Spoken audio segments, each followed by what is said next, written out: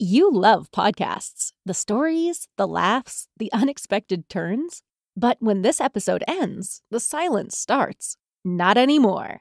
Audiobooks.com turns that silence into your next great adventure. With over 450,000 titles, from bestsellers to hidden gems, your love for listening just found its new best friend. And because you already know the joy of audio, we're giving you three free audiobooks to start your journey. Imagine your favorite podcast, now with unlimited episodes. That's audiobooks.com. Keep the story going. Sign up for your free trial at audiobooks.com slash podcast free today. Because for podcast lovers like you, the end of an episode is just the beginning. That's audiobooks.com slash podcast F R E E. I heartily endorse this event or product.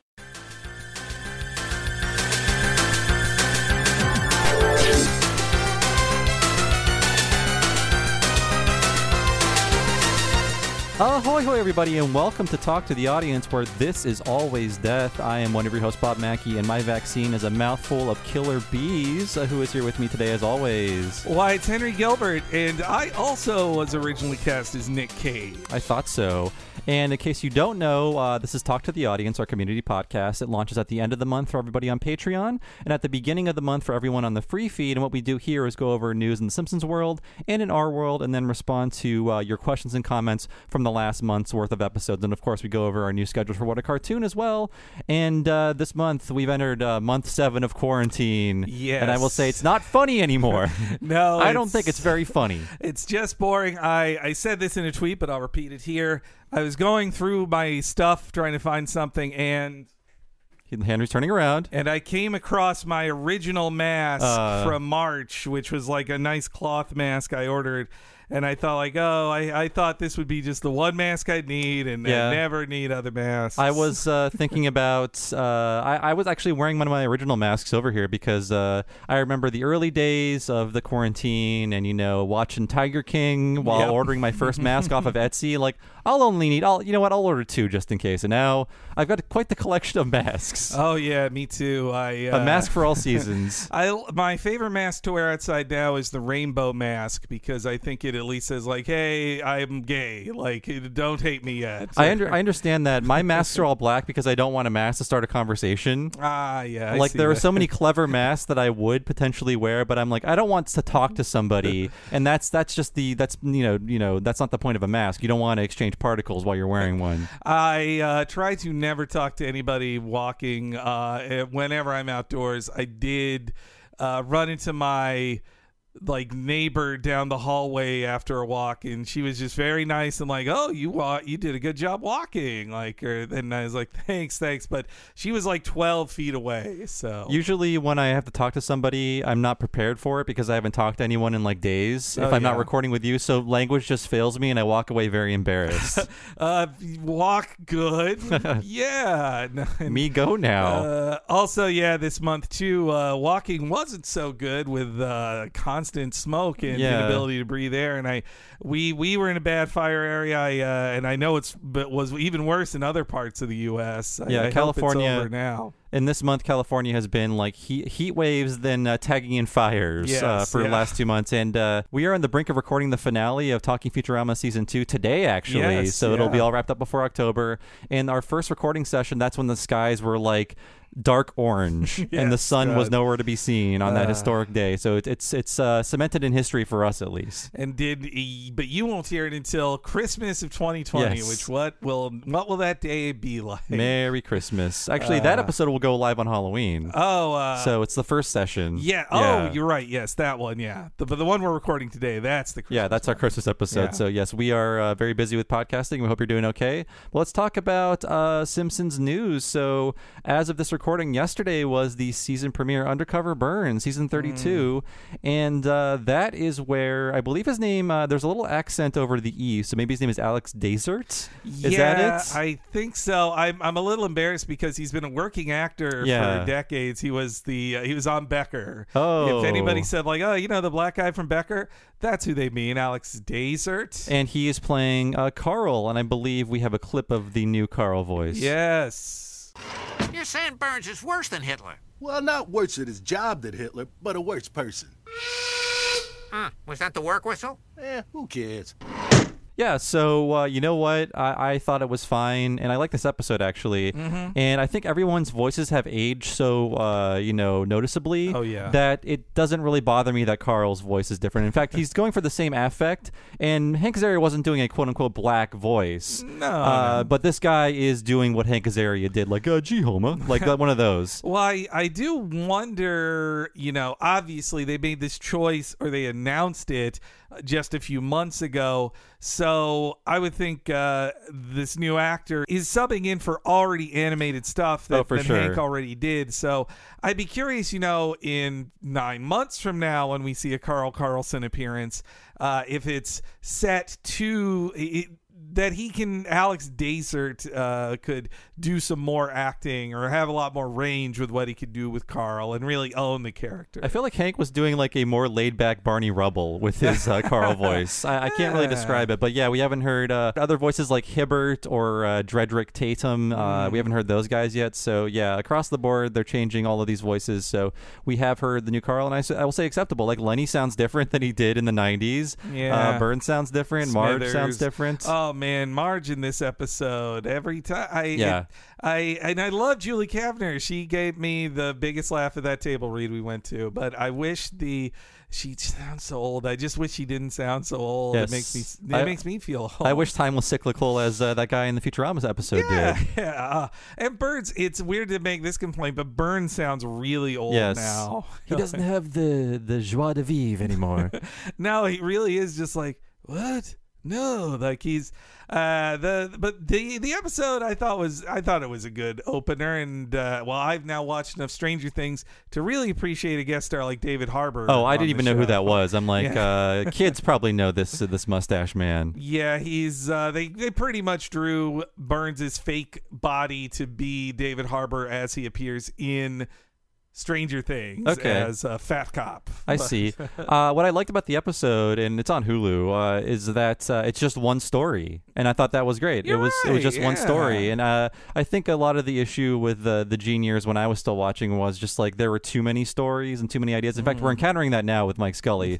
I think they just don't have enough time anymore, so they're not tempted to do B plots as often. But Mm. yeah, it was a strong start to the season, and you said you didn't see the episode uh, that we went to the table read for on the schedule. So when I looked at the wiki of episodes for season 32 uh, listed that were scheduled, none of the names of them or the descriptions fit what we saw uh, almost a year ago now at uh, at the early November table read. So yeah, Yeah, I guess there are only four on the schedule for Wikipedia, Mm-hmm. and that only goes up to October. So my prediction was it was a November episode, or it would be I- a November you're right, episode. Yeah, so it will almost be exactly a year from when we went to the table read, and I That's I, coming up. that anniversary is coming up. Uh, I can't wait to read along uh, with our original scripts and see what changed and what didn't. And uh, but I guess my last thought on the Undercover Burns episode was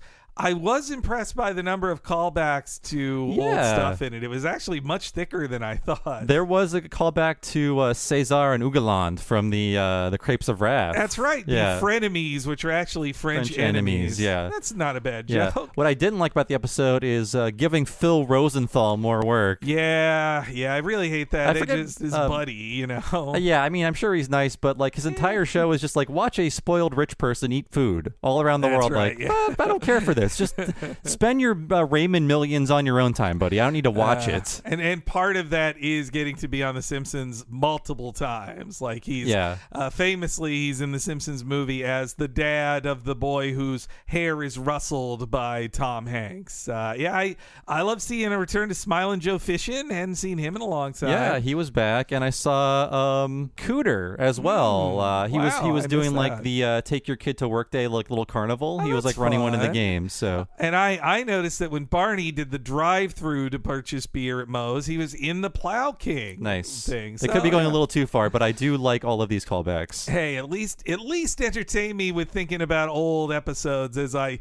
somewhat chuckle through bits of uh, of this new one, and so many Iron Man references like that. That the end one on the credits, I was like, boy, you spent a lot. You probably spent too much money. That feels like it was a, a cut scene or something that they didn't want to throw away. Way. Uh, and uh, and also there was, I guess it had something to say about workers' rights, but it its arguments seemed to be like, well, you'd bankrupt the company if you treated workers how they should be treated. Like, don't think so. They said some funny things about unions, though. That was good, yeah. And I did like they said uh, we'd be an out of we'd be a defunct company like 20th Century Fox Huh. and some other one. That is good. Uh, yeah, and apparently this got some good ratings because of uh, the football. Yeah. Everybody loves the football. Uh, reading it on Twitter, I got to see if I had been watching this live, which why would I watch live television? Uh, but this had the classic Simpsons delayed by big football game. But uh, thanks to that East Coast delaying of the Simpsons, it actually gave them a huge rating. Though uh, in that Variety article that was published like literally two hours ago, they Huh.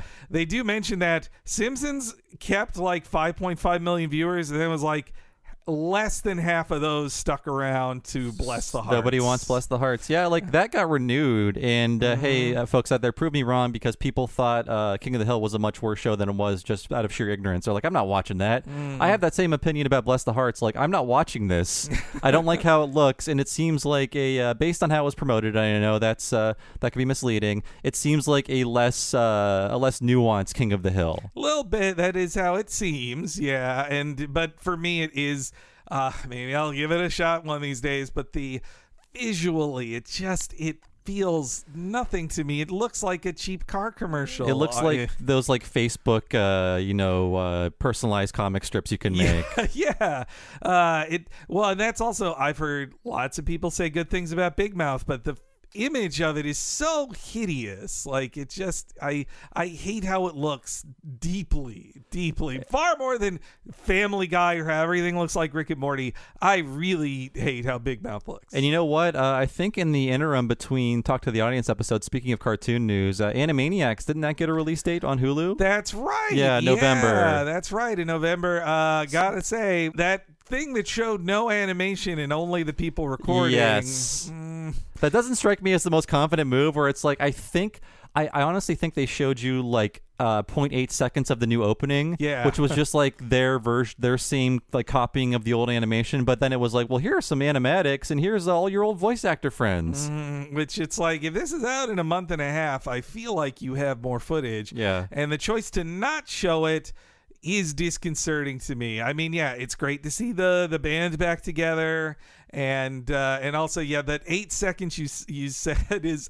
It's just like, well, this doesn't tell me how good the new animation is. It just shows me how good the current guys can imitate the best of TMS in 1993. You know, Yeah, and I'm sure we'll do one of these in early 2021 on our schedule because we've got our December, November schedules locked down. But uh, we should see what this is like. I'm sure there will be some uh, uh, annoyingly dated stuff like uh, you know Yakko Wacko and Dot trying to be Trump's like special friend when he's like I don't know at McDonald's or something. God, I hope they don't do a Trump joke. At least just do do a joke about La La Land not winning the Oscar. like, do I hope for jo- those kind of jokes, not a Trump joke. I feel like based on when this uh, series entered production, every joke will be like it can no- go no further than 2018. uh, definitely. like, I'd say uh, probably mid 2018. oh no, I spilled me covfefe. Uh, uh, Hey, I'm not saying that's an actual joke in the show, Yes, or that's a yes, good uh, Ringo Starr impression either. But uh, I'm just saying it's a possibility. Well, hey, I only want to hope for the best with that new Animaniacs. Yes, but, me too, uh, and we'll definitely talk about it. But yeah, so season 31 of The Simpsons coming to Disney Plus on October 2nd, making that uh, I don't know, like 700 episodes on Disney Plus at this point. I believe it will surpass the 700th episode in that group. Yeah, it's. Uh, I mean, on Disney Plus, Simpsons is. Uh, I, well, these metrics are not l- are not too officially released, but I, it constantly says it's one of the most watched things on Disney Plus. I I would bet it's probably the most watched not new thing they have on Disney Plus. Like it's really. Uh, but but is it anybody? I would also love to see the metrics. Who goes beyond season eleven? Like who- Yeah. where is the cutoff? Like does where does the the viewership drop? I, I'm curious. But Disney, uh, those metrics are worth a whole lot of money, and they don't share them with plebes like us. well, But it's it's hard for them to make new content now. So uh, although there, I think there are new episodes of Mandalorian coming. in October, yep, yeah, and uh, WandaVision as well, the MCU thing, Hmm. which uh, I don't know if you saw, Bob, but at least one thing you wanted in 2020 happened, which is that all Marvel movies not happening. I'm free of all of these conversations that make me uncomfortable. Uh, they've they have officially delayed every Marvel movie out of 2020. You, if uh, May 2021, we might get to see Black Widow if things are normal again. Christopher Nolan was felled by his mighty hubris. I know. He's like, no, you're going to see this movie. And then nobody did. I see those commercials. They're just like big movies are back. Like, no, they're not. No, They no. aren't. I'm sorry. We're not back yet. Uh, but yeah, season 31 is going to be taken off Hulu and moved over to Disney Plus, and uh, starting October 2nd. So now you can watch the 666th episode, which was the 30th Halloween horror special. Uh, Excellent. Treehouse of Horror. Oh, God. Uh, What kind of expert am I? yes, So- uh, you must resign after this podcast immediately. I'm putting out uh, interviews for new co-hosts. No. Are happening after this podcast. But we have more breaking news. Uh, Nancy Cartwright is part of a new production company with a with a hideous name, uh, Yeah. but it's all for uh, what is it for exactly? Oh, focused on Latin American content, bringing it stateside. So it's like a license plate, like a vanity license plate. That's what her. Um, yeah, it's uh, CRE 84U. So create for you. Yeah, ugh, God, Yeah. that's terrible. Yeah, it's uh, with producing partner Monica Gil Rodriguez uh, and Jaime and Carolina Amarich or A- A- Amarich. But Sure. uh, yeah, I mean, apparently she's had a production company for a while called Spotted Cow Entertainment with Gil Rodriguez. Uh, but this has been her new. This is the new version of it, which yeah, it seems like most of the original stuff announced in this deadline piece is they're they're working on bringing over more stuff that is already popular in Latin American countries and bringing it stateside. So that's uh, you know, hey, that's where the real money is on the production side. You can't just collect your Bart Simpson's paychecks You forever. You have to be a non-writing producer. I wonder if she also maybe she's left Scientology and that's why she's got all this more money now. Oh, uh, that's true. I, I was I was about to say like, why are you doing this? You have Bart Simpson money, but maybe Scientology takes like eighty percent off the top. Yeah, I, I would assume most things in the Scientology network are paid for by Simpsons royalties. I, I would bet. And we have more news when it comes to renewals. So, uh, Family Guy is getting season 20. Mm-hmm. Uh, Bob's Burger is getting renewed for two more, although the movie's dead in the water. Yes. Um, but what it will become of The Simpsons? Don't they need a renewal soon? uh, you know, the last one came in like January, February, so they can they can take it a little farther. But it is interesting to me that yeah, that Family Guy.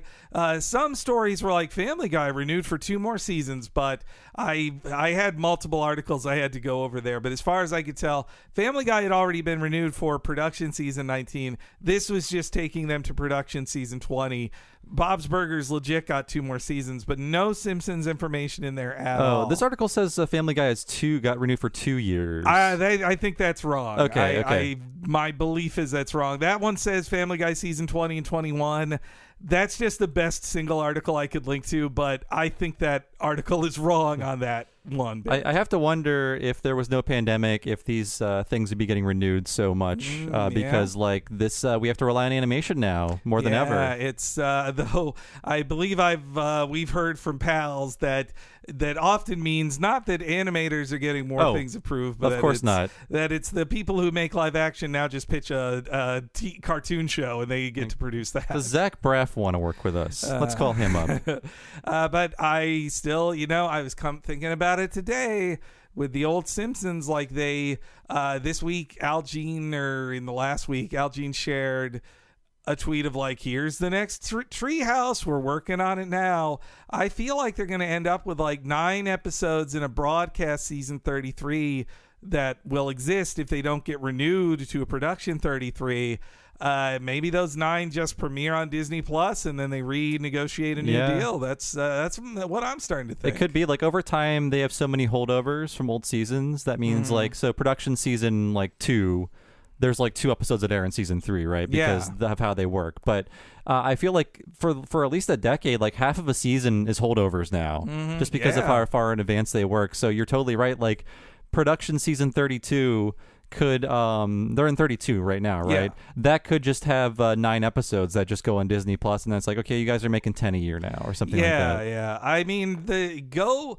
again, I I would bet the Disney Plus will tighten some belts, but uh, I I gotta hope if they if they went prestige style and just had the same group of writers, but they did and the animation budget, but spread over ten episodes instead of twenty two, I feel like they'd make better stuff. But uh, I don't know. It's uh, well, I guess actually I'll skip ahead one story because.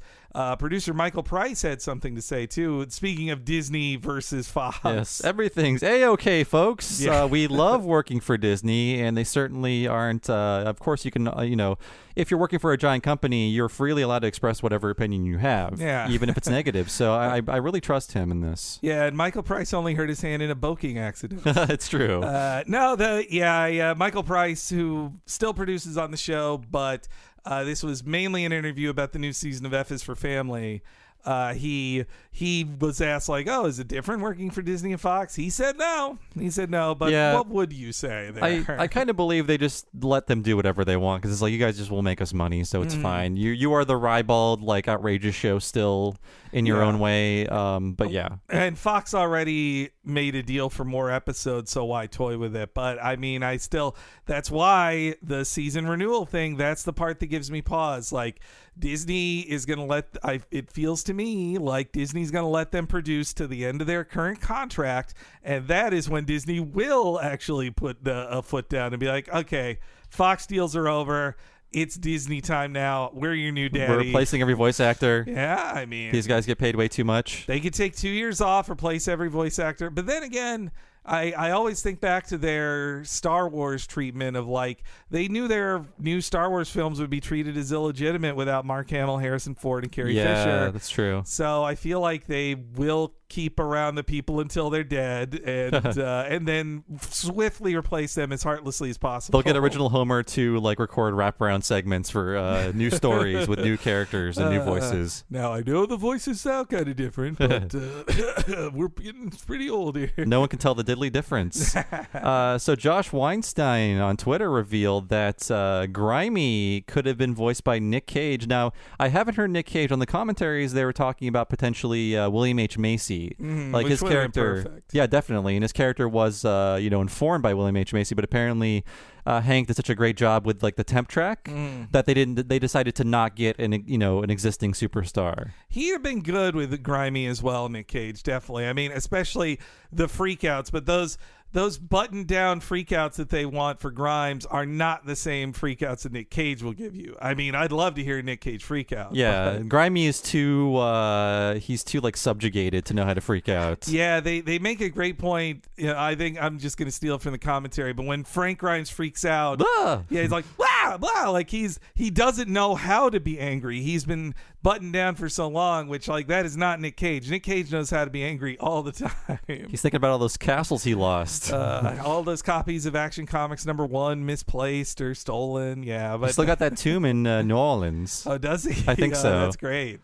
Uh, but yeah, I guess we have one more story in that it's like a fun little fan creation in that it is a uh, Simpsons reimagined as Polly Pockets, Mm-hmm. and uh, yeah, I definitely want these uh, as an adult man. They're really cool. Yeah, they just make them. That's what made me mad. You got to see me discover the viral thing, and I was like, "Oh boy, Simpsons Polly Pocket," and you're like, "No, they're not real." I was like, "Ah." These are all things they should have made in like 1991. Yeah, they didn't. Uh, they they didn't merchandise them properly, and then by the next time the wave of merchandise came, uh, it just turned into like there's too much ironic removal. I want those types of toys. Now. Yeah, and all the Simpsons toys they make are for like adults with too much money. Like Mm. uh, like four or five years ago when the house, the Lego house came out, it was like three hundred dollars. Yes, it's crazy. yeah. And I and I now now I'm like I should have bought that because now it's even more expensive that it's out of print. Uh, I mean, that was the thing I was faced with. I decided not to buy because I asked myself, like, will I actually build this? But that the soup, the Nintendo Entertainment System Lego thing does look so cool. But three hundred bucks, Yeah, man. I don't know. Those aren't real Legos to me. Those are just like kind of blocky little guys running Uh. around. I, I like the the building aspect. doesn't seem like you build that much with those. Well, you have to follow the directions very It's true. closely. Yeah. Well, I like too that for all of them, the insides are all the regular Lego bricks, but then it's the lie is well, then put on the outside the thing that looks like the thing. Uh, but yeah, that's probably Pocket ones should exist. I think that's why merch wise, where I buy the most Simpsons merch is always when I go to Universal because that's aimed at the right level for me, like the stuff they make there. But even then, it's it's still not very good. I wasn't really I wasn't impressed by the Universal stuff. There could have been so much like in universe merch you could buy, but the best I got was like the Duff beer, p- the pint glass. Well, yeah, and let's uh, let's not get started on the flaming Moe's Yeah. inaccuracy. I But was gonna throw it in that bartender's face. Uh, but I, I like my Duff hat. I like the Buzz Cola. I like uh, the Dancing Homer plushie. I liked him. And the, the Itchy and Scratchy Land hats look just like they did in the show. But they could have done 800 times as many as that. But uh, and uh, I have a feeling that Disney will not license new merchandise coming to Universal anytime No, soon. no, that's not gonna happen. And of course, they do have the borts, all the borts in Yes. there. Those are pretty good. That had to happen. If that didn't happen, I'd burn the place down. it would have been a real failure by Universal for sure. So let's get into news about us. So uh, out of nowhere, uh, I've been talking about it for a while on the uh, Patreon, but I finally uh, got the momentum uh, to put together a Discord channel for all five dollar and up subscribers. You're, you might be in it now if you're listening to this. If so, it's been fun. No one has been misbehaving, and I haven't had to ban anybody yet. That's good. This is one good. mod you can't take down. But uh, Uh. we have uh, cultivated a very nice audience, and I think if you are subscribed to the five dollar level, you're invested in some Mm-hmm. way. You're not just some uh, some drive by commenter looking to wreck up the place. Yeah, we have such great comments on the Patreon. It's it's uh one of my favorite things about doing the community podcast each month that I, I hope to only see that kind of spirit grow in the Discord. I especially like one of my favorite things is seeing people talk about their differences in memories of a Simpsons episode or or a cartoon that we do on What a Cartoon. So yeah, it was thank you Bob for for starting up the Discord. That was uh that's all on you, man. It was did uh, surprisingly easy, and if you want to know how to join it, you basically have to connect your Discord and Patreon accounts.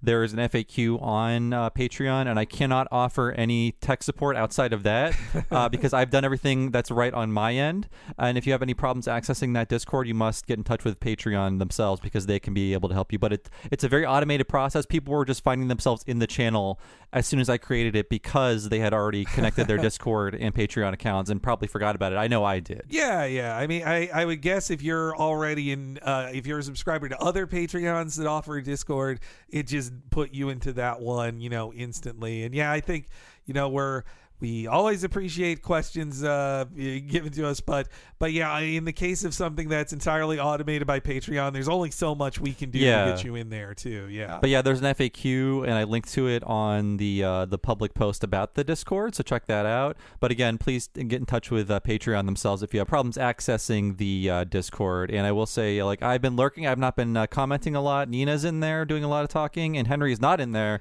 so you can talk about him all you want. no, wait a second. All so let's right. Spread some Henry rumors. Let's get those going. I'm gonna have to jump in there. I think you said that there's there's been some talk of my air fryer in there. yes, yes. Tell tell old man Gilbert to figure out Discord. I He's still I on know. AIM. No, he's not. I'm kidding. Uh, I miss AIM. I wish I'd have stuck with that when everybody at the game website I worked at was like, "We're all getting on uh, Slack now." I'm like, I should have insisted like you can only talk to me on AIM. I don't care. Yeah, Slack Slack was a mistake, but Discord is uh, fantastic. So Slack yes. is so your boss can stalk you, like, Yeah. and, and honestly, like, fuck you over. They give you like a new like find new ways to yell at you and like Mm-hmm. oh you missed that message where were you uh thank mercifully i think we only have like five rooms on in the chat and I, don't, I Ah. don't think i'll be adding any more just because the discussion is at a level where nothing is spilling over nothing is getting too excessive so there's like a general channel a channel for memes um, and then there's like a channel for miniseries, uh, what a cartoon, and uh, Talking Simpsons. So Mm-hmm. uh, there, there's enough there, I think, to make it uh, pretty organized as it is. But yeah, Discord's great. I, I read all the messages, check that out, and uh, great job keeping the discussion uh, productive and positive and Mm-hmm. funny, very funny too. Also, we've been very productive as we have been this entire uh, pandemic. And uh, by the time this uh, podcast releases, this talk to the audience, we will have recorded all nine episodes of Talking Futurama Season 2, Part 2, and those start rolling out on uh, October 30th until the end of the year. So that's been so much fun, and it was just fun. And once again, to jump back into Futurama, it's just been a, a, a great time over the past two weeks just to record all of those nine and uh, get those out of the way so we can focus on finishing out the rest of the year's worth of content. Yeah, it was fun for a whole month to just live in Futurama world, and it's something we we haven't been able to do this with previous miniseries because we weren't so far ahead on the other shows that we could just take a month off from them and complete the miniseries. So pretty much it was like you know with Mission Hill. We're doing a Simpsons today, and we'll do a Mission Hill, or we're doing a What a Cartoon, and we'll do a Mission Hill. But instead, to almost entirely focus on Futurama for a whole month, like that, I think made it even better. Our our thoughts and commentary on these episodes. And I think when we started Mission Hill, we were like four or five ahead when we started, uh, but now we're like nine ahead. Mm. Yes, It- it's yeah. done. So uh, yeah, Uh, please look forward to those. And once again, uh, they're being released at a very interesting time in history, in Yep. which uh, we are coming at you from mid-September, and uh, the election is happening. So uh, we Mm-hmm. don't know what'll happen, and uh, we try to tiptoe around that. But please know those are all recorded like months in advance. Yeah, I'm uh I'm at least well, thankful is a weird thing to say in the situation of Ruth Bader Ginsburg, but Yes. uh, we did record Cryonic Woman after her passing, which makes it less awkward when there's a joke about her by name in that yeah, episode. yeah. Well, I, I didn't want to be blamed for another death. Yes, yes. So, Uh, yeah. uh, but yeah, so when you're listening to us talk about, you know, um, Imperial war machines And Al Gore. and Al Gore and, And that election. yeah, we talk about the 2000 election quite a lot. So Yeah. uh, just know that we were saying it before whatever happens in the 2020 election. because like two episodes are right around that uh the last uh most historically interesting election that we had yeah, I uh, uh, boy, but so the the podcast is really fun though, and uh, all you five dollar and up folks can check that out. And you know, again, if you're a new sign up at five bucks a month and you haven't listened to all our previous talking Futuramas, the the first like uh, 22, you should give them all a listen. They were they were a lot of fun, and we, uh, as a warning again, or not warning, but uh, an FYI disclaimer oh no, I was gonna say it's an FYI. Ah, okay. We follow DVD order, Yeah. not broadcast order. So if you're going by the order of episodes on Hulu, that's not the season two we're talking about. We're talking about the DVD slash production, Production order, order. that's on the best there. kind of order Technically correct. yes uh so let's get into the what a cartoon october schedule again uh, these have been all recorded so uh Quite a while ago. Yes. Yeah. but uh so the first week is going to be uh, we're diving into the Back to the Future animated series with the first episode Brothers and I believe that came as a request from our buddy Dave Rudden. He's going to be on the show and also spoilers for November, we just recorded a Back to the Future 2 podcast with Dave for Retronauts an entire discussion of that movie. We talked so much about it that we didn't have time to even get to the games. so that'll be part of our Back to the Future 3 episode of Retronauts, but this is what a cartoon and we'll be talking about this interesting animated series that was overseen by the writer of the trilogy, and Dave is on board for it. Yeah, it's uh, ten times better than it should have been, and and Bob also really made an interesting discovery with the animation studio Hmm. that worked on it too. It's really really cool, and uh, yeah, we also wanted to. Dave, I think, suggested it too because we were this year is the 35th anniversary of Back yes. to the Future. so- And as we point out, like every five years, that's when you have to buy the new Blu-rays by law. Yes, yeah. With- listen, listen to Dave Rudden contemplating which version of the 35th anniversary he's going to buy. I think I think with this one, there's no uh, mandatory Funko Pop. yes, fortunately, unlike all those Batman sets I bought. Yuck. Ugh. Uh, after that, we have uh, we're going back to Aqua Teen Hunger Force with The Shaving. There are so many horror episodes, but that is one of the best, and it's about Halloween. So we're going to be talking all about that in a shorter episode, but still a fun one. Uh, and then we are moving on to another classic spooky cartoon with Scooby Doo. Where are you? The original Scooby Doo cartoon with the classic caper Jeepers. It's the Creeper, and that was so uh, much fun. Yes, yeah, we uh, another guest we had on there, first timer, uh, Chris Dobbins. They are a very good artist. Uh, you can follow them on Twitter, and they also know a ton about Scooby Doo, and they're just a big time fan of Scooby. So we thank Dobbins for showing up. Uh, for recording with us when we finally covered the original Scooby Doo series, which is Mm-hmm. like a, a one of the biggest Saturday morning cartoons of all time. And that's not the end of Scooby, of course. That's right. So we're closing out the month with uh, Scooby Doo on Zombie Island, the best Scooby Doo uh, movie ever made. And uh, yeah, so if you're on the uh, free feed or five dollar feed, you'll get the um, the free preview of that. But if you're on the ten dollar feed, of course, you'll get the access to the entire uh, What a Cartoon Movie episode, probably around three to four hours long. Mhm. Me and Bob uh, excited for Scooby anime. hmm The two things that go even better together. uh, and then uh, let's talk about our poll for November's What a Cartoon Movie. So uh, I'll be producing this one, and it's going to be all about Aardman films. So you'll have your choice of four different films from the Aardman Animation Studio from the UK, and of course those are uh, Chicken Run, the the Mel Gibson classic, and we can uh, thankfully he's not on screen, so we can just hear his voice and pretend it's somebody else. Uh, we have the Shaun the Sheep movie. We have uh, the Pirates. And then we have uh, Wallace and Gromit, Curse of the Were Rabbit. And those are the four movies we've selected for this Aardman poll. And that will be rolling out, I think, in early October. So we can get that one recorded way ahead of time, as we've been doing for the past like four or five months. Yeah, at the uh, right around when you're hearing this uh, on the Patreon, the poll should be close to available, and I think uh, you know. Uh, Wallace and Gromit, they've come up short. Uh, I think on four different polls now. It's been uh, a close shave, let's say. Uh, Uh, I uh, I think again I I'm I, it would be funny if Chicken Run beat it again too or Pirates or Shaun the Sheep. I'm not I don't want to play favorites and, and tell you what to vote for, but uh, but either way it's going to be something stop motion. That's what we'll be doing. And uh, we've been doing this throughout quarantine, and you can get a little window into our lives. My my depressing life of being in my apartment and just uh, soaking up media. Uh, but yeah, I've been doing a few things remotely with my fiance Nina. We've been uh, watching more of Avatar, of course, for the past two months. We're halfway through book three, which is the third and final book of Avatar.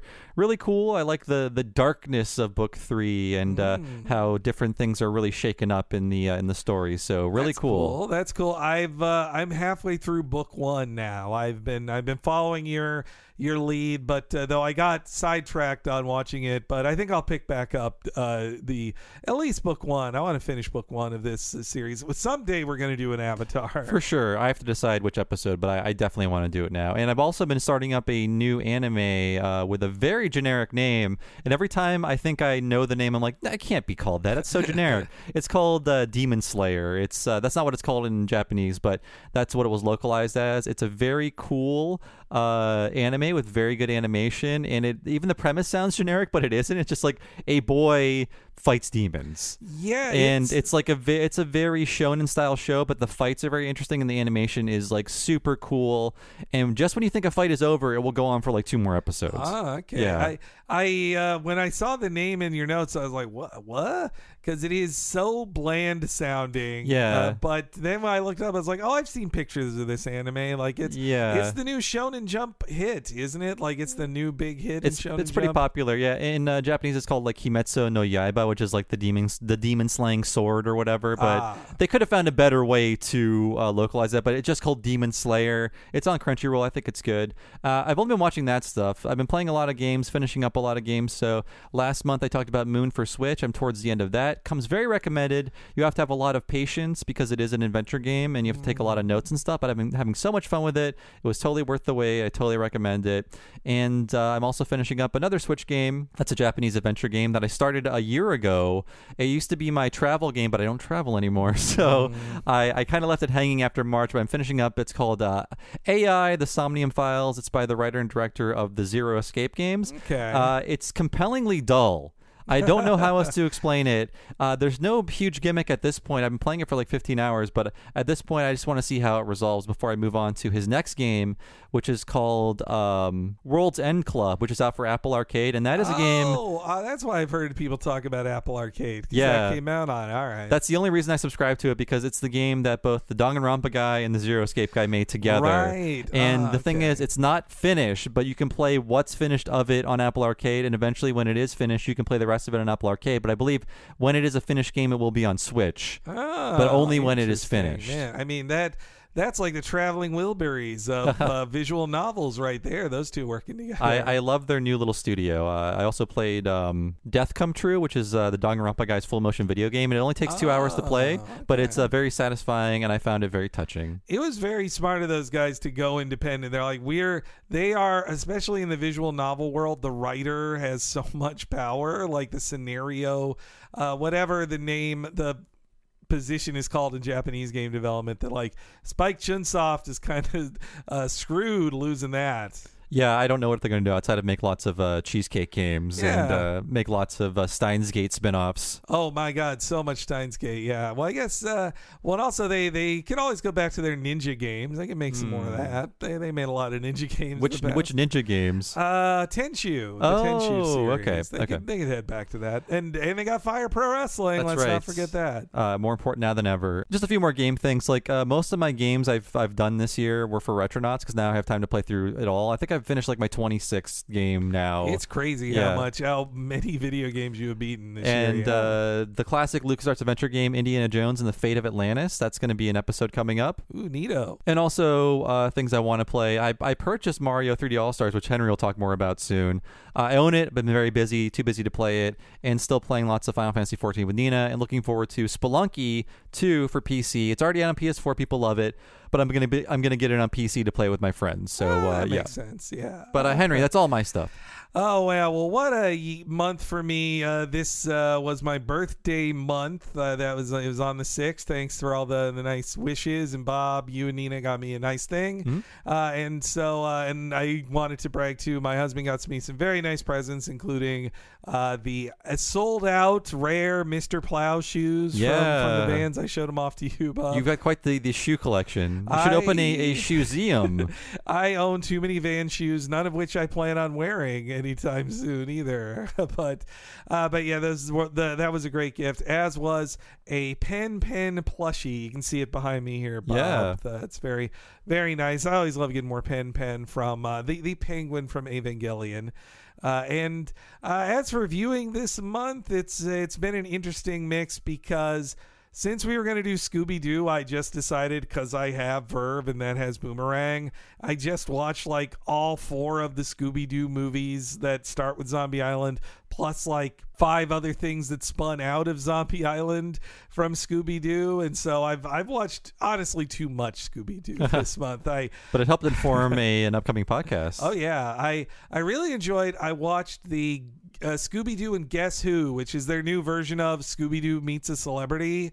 Uh, because the best part of it is when he can meet like Batman. They get Kevin Conroy as Batman, and they go on a silly Batman adventure. It's really great. Uh, that if I were to suggest watching one episode, it maybe would be the Batman one. Though the uh, the Jim Gaffigan one is pretty funny too. He seems like a good fit, even though he is like uh, it could be mistaken for a ghost for being so pale. That's that's. Do they make uh, that joke? I think they do actually. Okay. Yeah, they also make a joke about how uh, Shaggy and Scooby are scared of him because he's just as famous for eating food as they Ah. are.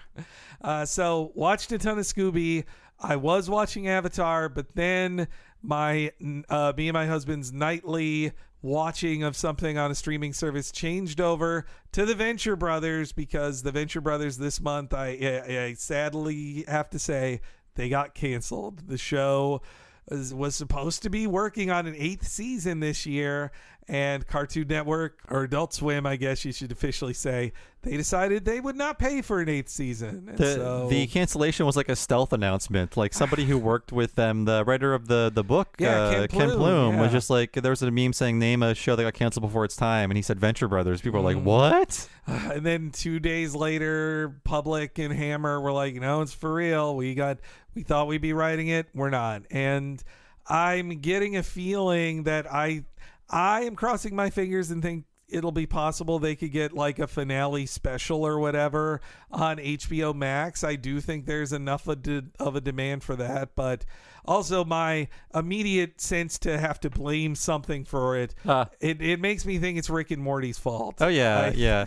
I mean, uh, we talked about this before, but it's just like Venture Brothers was always a hit. Uh, with us, Yeah. but you could not go to like uh, Barnes and Noble and see, you know, Pickle uh, Doc Venture or uh, you know Brockopoly or whatever. It was not the merchandising juggernaut that Rick and Morty is, which is why that show is uh, has been renewed for so much. I mean, it's a good show, not as good as it used to be, but it is like a merchandising bonanza Mm-hmm. for. And I can't remember if there was any uh, Venture Brothers merch outside of like the DVDs. There were, I remember seeing at Comic Con like the occasional action figure or t shirt, Hmm. but I also think it like Venture Brothers always got great ratings on Adult Swim, and I think it did well, but it never was the a giant like even I think Aqua Teen definitely merchandised better. Than Oh, it. yeah. yeah. Which I also think when you're Adult Swim and you don't like spending real animation money on something, which is what Venture Brothers cost, it's why they they made it every 2 years if you were lucky because they didn't really like spending that much money. After they commit real money to Rick and Morty, I think that's when they're like, "Oh, we can't spend real money on Venture Brothers anymore. We can't because it can't get merchandised in the same way." But I hope at least HBO Max recognizes that Venture Brothers has a hardcore fan base that would pay for a month of HBO Max to watch the finale movie if they were to do it. Yeah, I mean, uh, I feel like if if so many other things have come back, then surely this can get one more season. Like if like the Dark Crystal can get a series on Netflix, why can't the Venture Brothers? Uh, I I think the odds are good, but I so I first we rewatched the entire uh, last two seasons. And I hadn't memorized them like I did with the previous five, so I had only lightly watched them. Rewatching six and seven again, I was like, I think they're the best seasons the show ever did. It really it made me double sad to be like, God damn it, you guys had gotten even better at this. You were not running on fumes. One of these days, I'm going to do a rewatch because uh, a few years ago, uh, whenever when, whenever that book came out, I think it was 2018. I- Yeah. I, think it was at Portland Retro Gaming Expo. A fan just gave me the book. That's right. Shrink wrapped. That's right. And I still have not broken the shrink wrap, and I do appreciate that gift, but I don't want to crack it open until I'm ready to dive back into the series and you know go through it page by page as I you know watch the series again. So I'm gonna uh, pull one mine of these off days. the shelf now. Actually, I'm looking. I'm eyeing it right now. Over there, I see the black spine. I'm gonna watch it. Uh, read it now. But yeah, the it's all on Hulu, and listeners have known too when I gave them warnings of like, hey, I think Simpsons DVDs are going out of print. Venture Brothers DVDs and Blu-rays are hella out of print. Uh, and uh, I like ordered the last season seven Blu-ray that Amazon had. uh, when it says one in stock, I mean you got to do it. So I hate when that happens. uh, if you don't have a complete set of the DVDs and fucking Doc Hammer and Jackson Publick, their commentaries are like podcasts. They're awesome. Like buy them just for the commentary. Do you remember all of those crazy extras that were like on the first disc, where They are like yeah. uh, James Urbaniak dressed up as Doc Venture for interviews? Yeah, they worked so hard for free on extras for their DVDs. Like they, I will say on six and seven, they don't try as hard. Well, they're like in their fifties Yeah, at this and, and they're chain smokers. So, Yeah. uh, but okay, so I've been watching a ton of Venture Brothers. I just got my season six DVD in the mail and was listening to the commentary. Great commentaries. Uh, and lastly, video games. I played the new Avengers game. I beat the uh, story mode with my my husband. We did a co-op. It's pretty okay. It's all right. I'll look. People seem to like it. Yeah, it's uh, it's way too Destiny EE for me. It's not like a true Avengers. You sound like an old man. I am. I am an old man. and you need an old cereal. uh, but uh, but it's pretty okay, and I, I'm looking forward to when I can be Spider Man in it, uh, only on the PlayStation. Uh, and uh, I guess my at first I was playing a lot as Miss Marvel, but now my favorite Thor. I really like Thor a lot in that. And the other game I've been playing a ton of is Super Mario 3D All Stars, but specifically Mario Galaxy. I started up I started on Mario 64 just to get a sense of how it goes. That's what I played first, and uh, I beat King Bob-omb, and I was like, I get the gist of this. And it's just God having the C buttons be a stick. It just it always feels wrong to me in, in 64. And then the thought of starting Sunshine was just not something I wanted to do. People are learning. They didn't like our Retronauts. Well, I mean, a lot of people liked our Retronauts episode about it, but I think some were skeptical. Like, it's still, it was a good game. It's like Mm. 9 11 was so bad, even Miyamoto made a bad game. That's how far it reached. Uh, but uh, in my opinion, Mario Galaxy still really great. They're the only negatives I've had playing it is that the having the accelerometer replace a Wii remote. It doesn't work all the time, Yeah. but it works enough. It was designed for the Wii. My my uh, prediction is uh, I predict Mario Galaxy 2 will be DLC and it'll be out this holiday for four- $14.99 or $19.99. Wow, That is my prediction. A prediction. Yes. Uh, I I'd pay it because Nintendo's got me by the scrote. It's man. true. I, I, I have no other choice. Uh, and uh, I also did buy, but I haven't played it yet. But on your suggestion, the Monster Hunter Generations that just Yeah, and uh, a new one was just announced for Switch. I'm excited for that. So there's going to be a future, and uh, Oh. I'll be playing a lot of video games. That's for sure. Uh, and you know, I rolled credits on Ring Fit. I've been Oh, having nice. a lot of. I've uh, you know, you got the bad ending though. yeah. Uh, no, it's it's nice how they they give you an ending, but they're also like you should never stop exercising though. Like they, Yeah. they give you an excuse to continue. I've I've been comparing my notes on on playing it with Nina. She's uh, we've been playing it a lot together, or well, I mean, playing it in the same week. I mean, uh, and the other final game I've been playing this month is buying things and Yay, consumerism. the ultimate game. I, it never uh, ends, and you can never truly win. I pre-ordered that PlayStation 5. I was able to uh, me and the husband have three pre-orders right now in case one falls through on a disc-based PlayStation 5. And I've offered one up to Bob if he, I'll if he take it. wants it. Yeah, if they get shipped on If it gets shipped, I'll take it. Uh, yeah, I, I have no interest in either of these right now. I, I Mm. kind of would like to play the Demon's Souls uh, remake, but I have so many other things I should play first. And uh, life has gotten so tedious and dull, which is kind of a luxury, I guess, that we're not struggling. But still, Yes. life has gotten so tedious and dull that I was just like, I'm going to try to get a PS5 for for the sheer sport of it, Mm-hmm. just because it is some it is so, yes, it is some excitement to be like, ooh, can I get it this time? Did I load And- this? Did I buy something other people couldn't buy? I, th- I think that I um like caused like three stores to crash before I ended up giving up. Well, I, I would tip anybody if you aren't yet, you really, if you want one of those systems and still haven't got it, follow Wario64 on Twitter because the second anyone is available, he sh- he tweets it out. And and I also pre-ordered an Xbox Series X, which if you're a PC gamer, I have you have no reason to buy that because it's just I bought it as a replacement for a gaming PC because everything on that Game Pass is going to be on a PC. But so I yes, I am saying to everybody I spent over a thousand dollars this month on new systems and I and I hate money. I just hate having money. Where are the old ones gonna go? uh I don't know. Definitely Xbox One's going out to pasture, I think. or it's just it's going in the closet and uh, to be discovered in five years? Like, oh, yeah. right, this this generation happened. And I I'll look up the I'll look at my Kinect and be like I never used you once and the, the one time uh, the couple times I accidentally used you I hated that I did. So that's been my month. It's uh it's been a rough September, but isn't that every month this yes, year? Yeah. So we hope you're hanging in there. But Yeah. let's let's move on to uh, comments and questions for Talking Simpsons. Mm. And our first one is for the pilot for Malcolm in the Middle. We went over the pilot of that series, and that was a lot of fun. Hell yeah. We did it with Nathan Rabin and I, I should say again, you know, you really if you're looking for a good holiday gift for somebody, the weird accordion to Al book that he did, I think is a good gift for every nerd in your life. Hmm, it's great. And uh, let's move on and talk about this comment by Patrick Rizzolo, who says the episode where uh, Craig Lamar Traylor's character is shown walking comes from the episode Reese versus Stevie, and the context of it is crazier than you think. In this episode, Reese has finally had enough of Stevie insulting him and getting in his way, but because of his physical disability, Reese can't do anything about it. However, Reese decides he's going to fight him anyway. In order to make it fair, he soaks his lower body in ice water so his legs are limp and could be on even ground with Stevie. What Reese doesn't know is that Stevie was recently accepted into a medical institute as a research subject, and for the fight borrows a robot exoskeleton, allowing him to walk and beat up Reese. The thought of an able-bodied kid giving himself a handicap in order to fight a physically disabled kid, only to have it flip on him in the end, always made this episode funny for me. And yeah, that does. I gotta watch that one again. That sounds hilarious. Oh, God, I forgot. I once I read that I can remember seeing the actor for Reese like suffering in a fake ice bath and just like basically destroying his legs for for that. Uh, meanwhile, Mario Diaz de la Rosa says, I, I chose this so you can have your rebuttal. I uh, I think I even had a little reply to this. You but did. I, I have an extra reply here. The, the world should hear it though. Mario says, Hate to be that guy, Henry, but young blood or Young Blood, as Muniz called it, number one was not a rare comic book by any means. It was certainly not in 2000, long after the initial image hype had died down.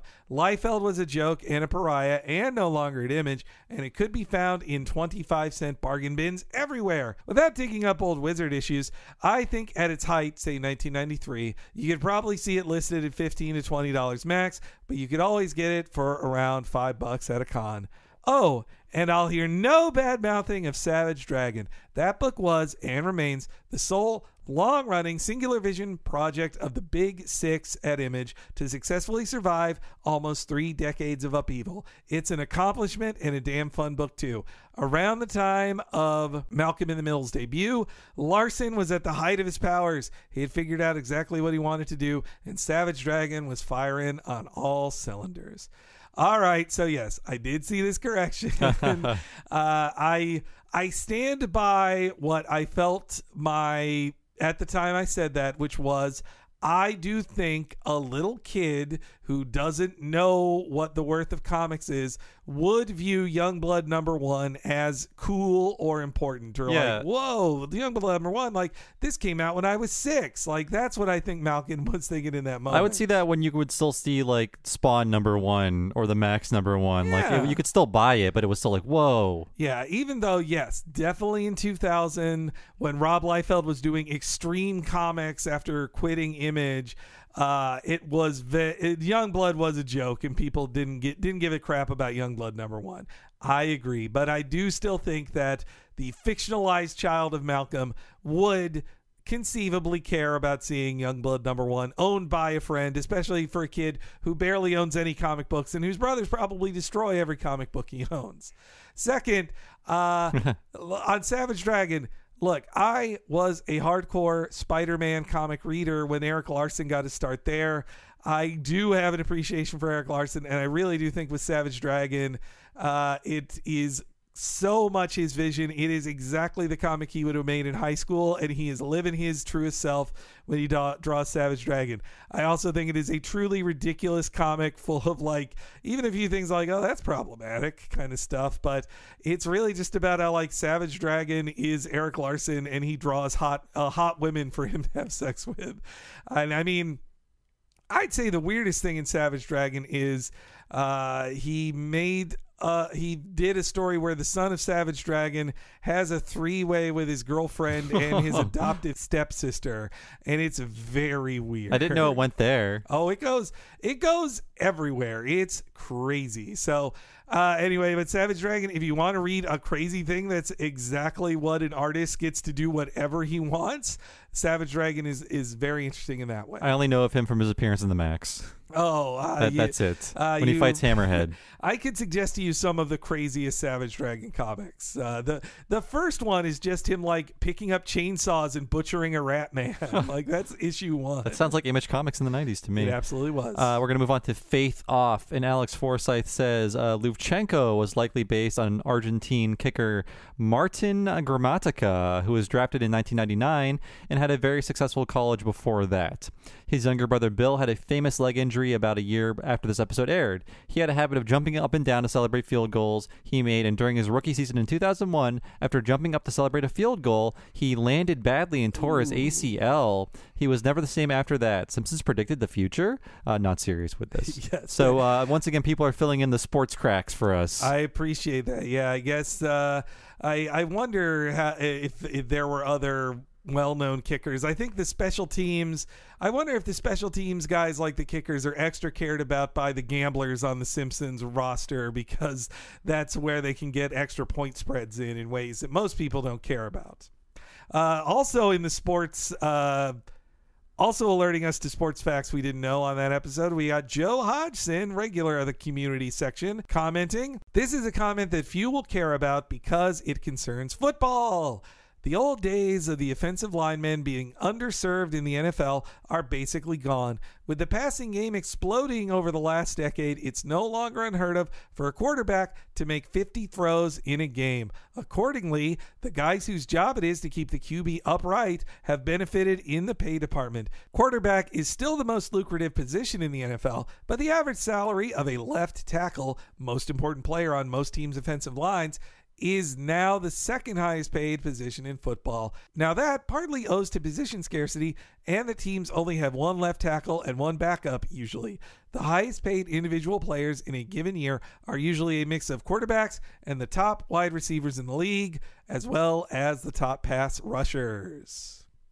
So thanks. I think I said like, uh, who pays for these guys? Or there's, it's boring if you're not the quarterback. I've now learned that there are other Oh. star people. If if I know the name of any football player, it's usually the quarterback though these days. But that that's probably because I don't really pay attention. we learned a lesson it. by Yeah. uh, speculating about sports. So thanks to both of you for letting us know. And uh, there was like a, a lot of talk about how we say the word of a certain writing implement made of wax. what would you call that, Henry? Uh, I think I'd say crayon. Crayon. Crayon. It's Yeah. crayon, not a crayon. Crayon. Oh, look crayon. at my box of crayons. Yeah, No, I no one says that. No one says kitten. I or would- bottle. I'd say my mom got me a box of crayons for uh, Yeah. for kindergarten. I, Like, I, yeah. the, I guess people were uh, some people were weirded out by the word the uh, crayon. Crayon. I guess I, I I always say I just have always said well I say like well I think I jump between like bean or ben I don't I think it's more bean I mean, it's, I it's all like regional stuff. Some people say interesting. Some people say interesting. things Ah, like yes, that. yeah.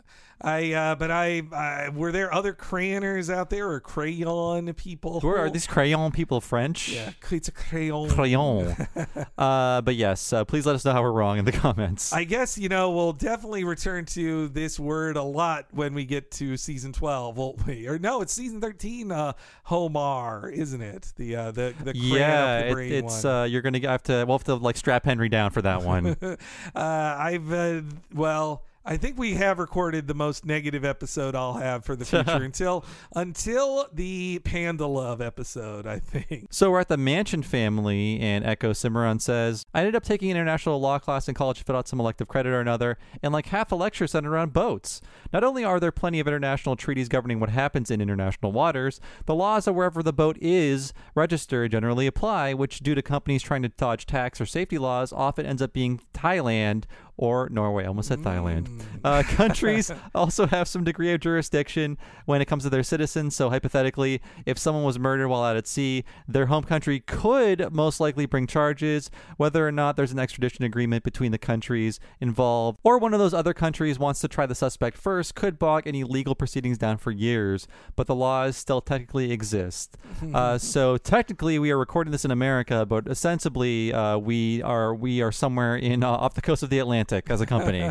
That's where that's where our company is is uh, head, headquarters right I now. think I think we're recording in the Cayman Islands. It's true. Yeah. Oh, crap. uh, I shouldn't have said that. no, it's uh, that's a good list of uh, the realities of it. Uh, that uh, every comedy writer in 1999 was like, "Oh, if you go into international waters, you can do anything." And no, no, you cannot. It's a it's a nice uh, v, uh it's a nice imagination there, but it's about as realistic as when Grandpa says you can live in a balloon. yes. Uh, if anything, the god of the sea will punish you for that. Uh, also on that episode, Scott Johnson has another answer for me. They say to answer Henry's questions about Tuborg, it would be a basic Euro lager on the same level as Heineken, Harp, Stella, Peroni, and Glor- Gror- Grorsch. Uh, It is one of the national beers of Denmark, the other being Carlsberg. They used to be fierce competitors until Carlsberg bought them out, but they still sell Tuborg for name recognition slash shelf space, a rather common practice in the beer industry.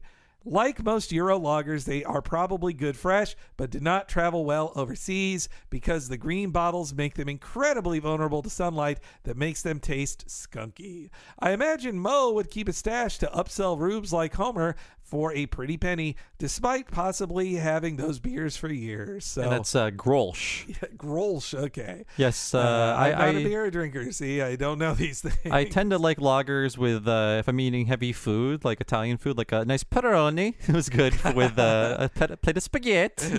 Uh, I did have some other folks telling me, I can't remember his comments or t- uh, tweets at me, uh, looking very much down on me for drinking Stella, that it's like piss Mm, water It is to piss people in a, in, in a bottle. Uh, uh, especially a lot of uh, British beer drinkers Mm. who are just like, Tuborg sucks, but Stella's even worse. Uh, I gotta say, I re- God, I want to go to a bar so bad, uh, but there's none open, and uh, I, I want to go to a bar and drink a Tuborg when this is over. I'm gonna celebrate with the beer of Danish kings. I, uh, the, you know, on the uh, on the night of our BG's death, I I drank for the first time, I think, in like five months, and I I had this bottle of rosé that had just been sitting there, and I drank the entire thing. You, So- that, that, you poured a juice glass full of rosé. yes, I did. Well, I don't have a wine glass. That's like Uh, that's like three glasses. no, and I uh, yeah, no, I seriously drank the whole bottle, and uh, I uh, you know, hey, I'm feeling better now. Everything's good. yeah, I was wondering how much wine. Like uh, you're not a drinker, Henry, so No, I was no. wondering the, the the fate of Henry Gilbert after that night. I did okay. You know, my husband was very watchful, make sure I, I didn't fall asleep, and uh, uh, yeah, got to be rolled onto my belly. That's he held, what- held your hair. uh, I didn't throw up. I I kept everything down, so Hmm. it, it wasn't so bad. So up next, we're on to What a Cartoon. So let's talk about the What a Cartoon movie, Ghost in the Shell. And uh, Nina Matsumoto says, "Until I met Bob." Dot dot dot. I thought I was the only person who didn't like this film. That's right, I changed Nina's life. Uh, she goes on to say uh, regarding the theme song, which I love and is one of the only things I like about this film. You got some info scrambled there. There is no uh, Nue dialect.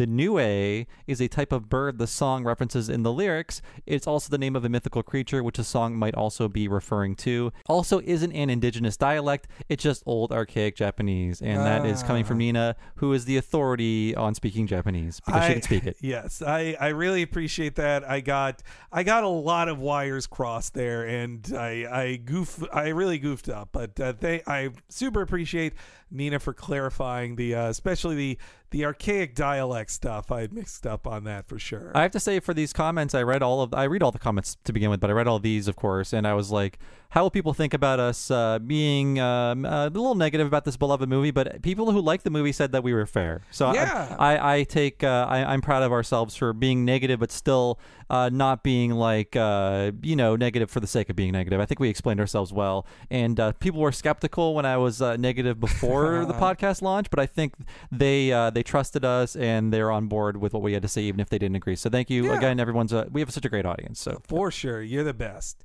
Uh, another of those great people is Guy Incognito, who uh, they wrote on Ghost in the Shell. Great episode as usual. I love how thorough you guys are. One correction. You're right that the city is visually based on Hong Kong, but the movie and all iterations of the franchise are set in the fictional Japanese city of Nihamashi, translated as Newport City. Newport City. Uh, they mentioned this in the first spoken line of dialogue. To all patrolling air units, a 208 is in progress. It is in the C13 district of Newport City. I missed that. But it's only mentioned again once, so it's easy to miss. Especially since, as Henry said, the signs are all in Chinese. I'd be interested to know why they chose to do that. Maybe they wanted to evoke a more globalized future, similar to the very multicultural future LA of Blade Runner?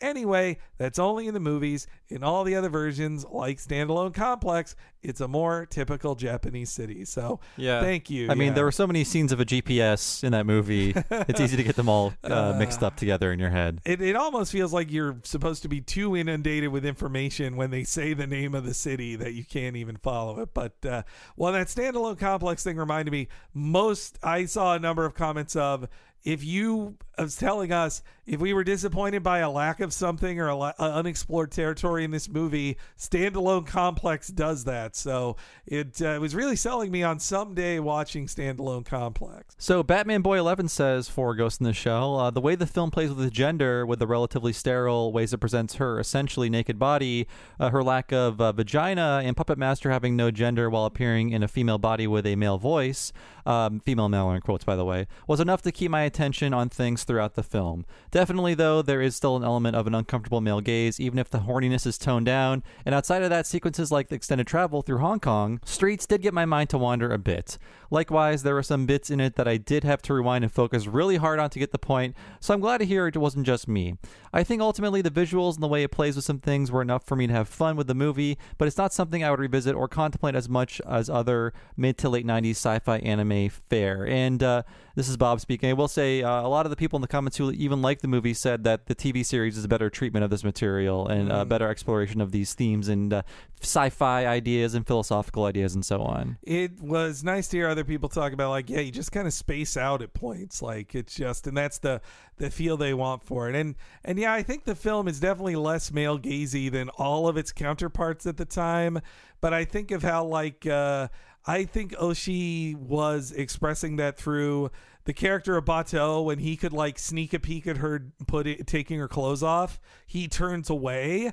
I think that's the spirit of the film too. Of like, oh, you get a little glimpse of it, but you should feel ashamed of it. You shouldn't just ogle her boobs. So up next we have Inuyashiki, Last Hero, and uh, the comments we got were good, but it was mostly people saying, "Oh, I've never heard of this," or you know, "I like this discussion." So I can say, uh, for my end, I could talk a tiny bit about the series since I watched it all uh, with Nina after we went over it with our Patreon uh, for the first three episodes. And I will say that like what you think the show is setting up in the first three episodes doesn't really happen.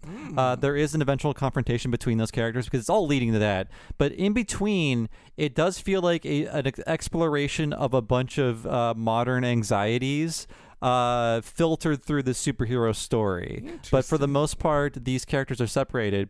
And what struck me as interesting about this series is that the fears uh, that it explores and the anxieties that it explores seem to be uh, like mostly Western anxieties. So it was interesting to see a Japanese creator do this, like things like uh, terrorism and uh, especially spree shooting and mass shootings. Oh, okay. Uh, the the latter uh, is a huge part of what's explored, like because of the the bad guy in this is that's Ah, what his yeah. game is. So Man, yeah. I wonder if that if that by taking on the tropes of an American superhero in style that that's why you bring in the things that trouble American superheroes in their content like terrorism and mass shootings. Yeah, like I feel like an American show, this could not be, this would not be accepted. They, no one would green like this. Like, oh, our bad guy is a spree killer. He just does Mm. spree shootings in every episode, and then there you have to witness the fallout of that. That's never going to happen on an American show. So I, I think it's interesting. heartbreakingly real. Yeah. yeah. It's like, oh, that's the regular people who exist now. It- I- it's too close to Ah, us. yeah. After Yoshiki, we had the Sonic Saturday a uh, the Sonic Saturday morning show comments, and uh, a lot of good ones on that. Everybody loved having uh, Ian back on. What a great guest! I, I love Ian. And uh, on that one, Joe Moore says, one thing you mentioned though was Sonic. One thing you mentioned though was Sonic Spinball, which did feature character designs from Sat AM, though, but there were also versions of Scratch from uh, uh, Adventures of Sonic in the bonus stage. So this is something of a hybrid. Adding to the confusion, I believe when Spinball was released on the Master System Game Gear, the cover art was altered to replace the traditional Sonic 1 and 2 design of Robotnik with the Adventures of Sonic, who isn't even in the game. Uh, and I, I owned that Game Gear version. I think he's right. Huh. That was I didn't play Spinball. I played a tiny bit of Spinball on Genesis. I actually played it most on my Game Gear, uh, the the battery eating Game Gear. So they were just mixing worlds. Yeah, I mean, why do they care? Like, uh, they got a Deke deal. What? Who cares? Yeah, Uh, I'm looking at the cover art. In in one, it's uh, you know Saturday morning Robotnik. Another one, it's uh, it's the big butt Robotnik. uh, robotic. Uh, oh, but yes, uh, Joe Moore continues. Finally, yes, the UK Sonic the comic borrowed characters and designs from everywhere and didn't seem to have any coordination or support from Sega. Robotnik was reborn as his Adventures version, and Amy Rose's hair was based on a promo image that had her spines curving upward like Supersonic. It seems like none of the artists had a copy of Sonic CD, otherwise, they'd have known that her hair is more like regular Sonic, sloping downwards. So. Yeah, thank you for that. I, I still haven't checked out those UK Sonic comics. Those, as Yeah. Ian described them, they sounded even crazier than the Archie books. I didn't know this, but like a Retronauts uh, contributor Stuart uh, Gipp, uh, he is a writer for this Sonic Whoa, comic, and uh, he uh, was just tweeting about he wrote a story in the new Sonic the Hunt comic uh, that just came out. So, Wow. And it's featuring Alex Kidd, so they are Whoa. still running. Well, congrats, buddy, and you outlived the the Archie verse. It's no longer with Yeah, us. Yeah, September 2020 there. comic. You can read one of those by Stuart, who is a Badass. Retronauts contributor. So yeah, it's cool. I had no idea. So uh, Thad Komorowski says, I haven't listened to all of it, but of course Ian is great as always. I've been trying to determine why there is a sweet spot with Sonic for me. The first Genesis games in roughly the years spanning number 20 through 50 of the Archie's comics, and I still would never replace those in my favorite comic slash cartoonists. But I just can't shake the idea that they're fun characters and concepts. I think it boils down to quote, I'm nostalgic for when I was seven, unquote, more than any real quality, much like how older friends finally remember the Sea of Shit Gold Key 60s comics. And I think uh, that's fun. I, I chose this because Thad, I think he is uh, has very particular taste when it comes to cartoons and animation and Yeah. comics. Um, and I find it very fun that he likes Sonic the Hedgehog. Yeah, I I've seen that joke on Twitter that he's such an old soul. Like people when they find out his age are like, "What? You're in your 20s?" Like they can't believe it. And so uh, that it, it is funny when he is such an expert on classic cartoons like and you know i just saw a, a great tweet he did about praising some uh, specific animator in an old Popeye black and white cartoon. I'm, I I think it's it's funny that Sonic, as the very '90s Sonic the Hedgehog, also touches him in that same way. And yes, it is blind nostalgia. Yeah, I'm pretty sure that's. I mean, that's why most people like Sonic, and now they just can laugh at it. uh, that uh, I just rewatched scenes from that Sonic movie. That's uh, that movie. It's both the best video game movie it could possibly be, and also not good. Uh, but uh, I guess next up on the What a Cartoon, we had Dungeons and Dragons, much like Inuyashiki, another pick by our uh, top level patron who guested on it. Thanks, Devin. And uh, Alice B says about that episode, "This was so fun. I've been playing D and D regularly since college, which was." Longer ago than I like to think about, but even then, this series was a bit before my time. Back in the day, I only ever got to encounter it as sort of a weird fandom artifact, often spoken of in a hushed tone with reference to the Phantom final episode where mm-hmm. everyone dies. Even so, after I got to see a bit of it, I can't help thinking it's seriously ripe for a reboot too, particularly since the Gayest Episode Ever podcast put a spotlight on the one where noted rich douchebag douchebag Eric basically meets a snarky male love interest. I realized there was really a lot you could do with these characters in what amounts to a D&D isekai setting nowadays. If the right creative team gets their hands on this, it's an idea whose time has come. I, for one, need something to fill the She-Ra shaped queer 80s throwback hole in my heart. Yeah, and I forgot Gayest Episode Ever did an episode of this. I might not have heard that one yet, actually. Uh, it might be one of the earlier ones that I haven't heard. I need to pull that up. I was just I was just listening to their Rachel kisses a girl Hmm. uh, episode they did, which was really fun. I love hearing them engage with friends at all. Now is just like it's it's hilarious because Friends it was an incredibly homophobic show in a lot of ways, but also it hated everybody. it did have a gay wedding on the series too. Yes. but, uh, that was kind of played as a joke.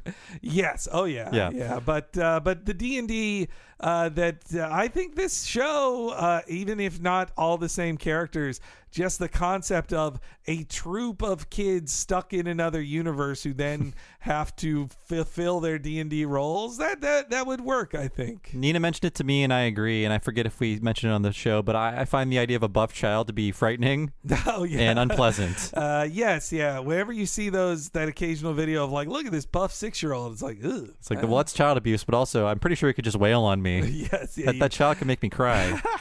Uh, so Brian Horton's writing in with some uh, Dukes of Hazzard lore. So he says, "LOL, the promo that you guys played for the premiere of Dungeons and Dragons mentions that Bo and Luke are back for the premiere of The Dukes. This is promoting the premiere of the second season of The Dukes. I checked the dates in the IMDb, uh, and they do match up. That weird Dukes of Hazzard cartoon had two seasons. The first was made when the leads who played Bo and Luke had left the show due to contract disputes. So just like in the live-action show, the cartoon had the replacement characters of Coy and Vance.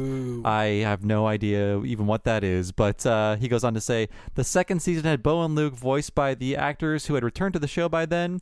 I have no history with D and D beyond that Marlon Wayans movie, but I have plenty of history with awful cartoons. And I will say, Bob Mackey speaking, my only awareness came uh, of, of Dukes of Hazzard. Where I never they, I never saw it as a kid or like as a teen, but Weezer covered the theme song, and that was like on a lot of like Weezer like Oh, rare yeah. tracks and uh, I had a, just some good old boys. Yeah, they had that, and uh, that's the only thing I've ever associated with uh, Dukes of Hazzard. Like, oh, here are the eight Weezer songs you can access once you get the internet. Uh, Remember when there were not enough Weezer songs? I know, and every you'd ha- you'd see other bands just called Weezer, and it's like they Yeah. sang this song. Yeah, that, you gotta get your fucking Meet the Deedles soundtrack to get uh, the one Rivers Cuomo song. That's right. there. Yeah. Or the uh, uh, favorite of mine was the uh, acoustic appearance he made in some like Harvard area Oh. thing, playing his like rejected Angus song. I had I had like all the acoustic sets of Rivers Cuomo. Good time, yeah. And now to think that now there's like 20 years of uh, Weezer songs since then that I've barely listened to, if at all. But uh, yeah, Dukes of Hazzard. yeah, no, that I uh, forgot that uh, the the stars left. Yeah, they they made up Coy and Vance, and then they were able to get the stars back for the uh, that next season. I I had forgotten that too. That uh, it said it right in the commercial.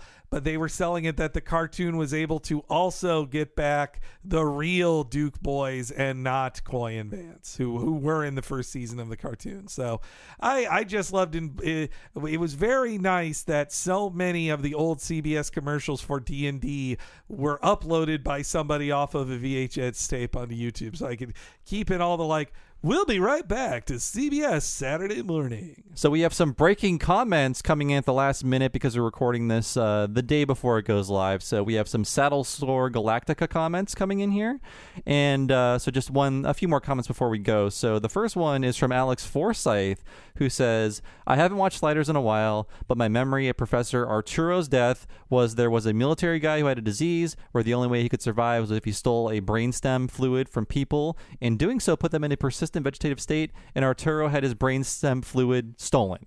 And they uh, then had to chase him across several slides before they eventually stopped him. The first two seasons were so good. Sabrina Lloyd and Wade Welles were done dirty. Not only was she replaced, but her character was captured and then sent to a Cro-Mag breeding colony. And uh, Jesus. yeah, you can probably guess what happens to her after that. That's horrible Yeah. to do that, man. That uh, boy, I didn't realize. Thank you, Alex, for uh, letting me know just how bad Sliders was. Uh, the the only thing I should have added to the Sliders talk there was I really loved on our uh, friends show podcast, The Ride, when they covered the Universal Star uh, Stairway. Uh, no, yes, Starway. yes, yeah. yes. They talked about how it was used in an episode of Sliders for a world where everything's a mall. It's just a giant mall, and you take the the it's the elevator to the escalator to heaven. and I believe Yeah. it's pronounced sliders. oh yeah, yeah. you're right. It need it must be whispered When you order them at White Castle, you have to say it that way. Uh, and uh, also, Matt Solis on that episode had quite a correction, which uh, I definitely goofed there too. So I'll take I'll take the blame on that. But Matt Solis says uh, the Horse Whisperer wasn't a Cormac McCarthy book cabin. You're thinking of All the Pretty Horses, which was made into forgettable film starring Matt Damon. How dare you, sir? So I included this because I had like a moment of panic, just like in the shower a few days after we recorded this, or maybe a week, and I was like, "Oh, wait a minute."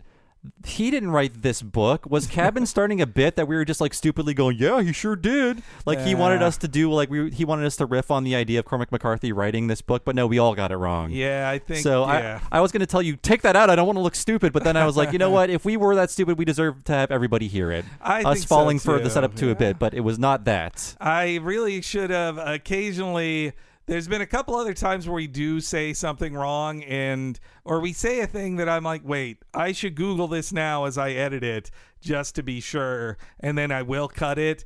But on that one, I I didn't do the googling, and I, but I agree with you too. I think we deserve it. Yes. Look, uh, I especially because I didn't watch the movie, but in high school for assignment, I did read all the Pretty Horses. Oh, really? Like, I know that book. I I guess I thought in the moment maybe I thought Cabin was saying like he also wrote the Horse Whisperer. Like it didn't. I was like, oh, I guess he does write books about horses. Yeah, Yeah. that sounds like Cormac. So is all the pretty horses just a description of various horses? Like, and this one is super pretty. Look at its Uh, tail. I boy, if I can remember back twenty years, I think the statement of all the pretty horses is said by like a drunk guy passing out. But it's just about like being a cowboy and like Hmm. Helping horses and stuff. The horses are a metaphor for I don't know the death of the West. Uh, oh, for sure, the death of the West is in there. I just remember reading a description of like putting uh, that they're so poor they just have tortillas and they put sauce on it and eat it, and that's their day. Like, yeah, but It's called a quesadilla in my neck of the woods. uh, but uh, yes, thank you, Matt Solis, for bringing that up. I I did see in those comments, you know, some people were like, "This episode is better than I remember," but others, uh, including our pal Thad, were like, "You guys are too nice to this. this episode still sucks." Well, uh, we're rounding the bend when it comes to super polarizing things because coming up we have uh, Alone Again, Natura-Diddily, and uh, we also have Kill the Alligator and Run. So uh, yeah. Mm. once we make it through there, we will survive. And we've recorded past that, I believe, right? Uh, Kill the Alligator and Run is the one we most recently recorded. Okay, gotcha. So, yeah, and So- then we're finally going to have some fun with Last Tap Dance in Springfield very soon. Mhm. Yeah, our last tap dance out of Springfield. In Yeah. Springfield. In of Spring- Springfield, I don't know. You you pick the preposition, but by the time it goes live, we'll have it correct. Yes, for sure. uh, but yeah, that's been another episode of Talk to the Audience. Thanks for hanging in there, folks. It's been Mm-hmm. uh, it's been a long quarantine, but we want to bring you all the fun podcasts uh, that you can stand. And at the end of next month, at the end of October, Talking Futurama season two, part two launches. So please uh, stay on the Mm-hmm. Patreon. It's only for people that are at the five dollar level and above. And again, that'll run from um, October 30th till uh, Christmas of this year. So nine weeks, nine new Futuramas, and they're all about like an hour and a half long. Yeah, we've had a ton of fun recording them. It's so many strong episodes in that group, and uh, and yeah, we've got some some fun, scary or horror theme stuff coming for you this month in the What a Cartoon. And don't forget at the start of October, if you are a five dollar and up subscriber, to vote in that next poll for one of the Aardman films that we'll be doing as our November What a Cartoon movie. But yes, we know October is going to be a very uh, historically interesting month, as Oh, every yeah. month has been for the past, uh, I don't know, four years. But uh, please uh, hang in there. Uh, we're really happy to have everyone as a listener, and uh, we can't wait to bring you more great stuff and hopefully provide some nice distractions from uh, the chaos as it continues to erupt all over the place. But yes, thank you so much for listening, folks, and we will see you next month for another episode of Talk to the Audience. We'll see you then.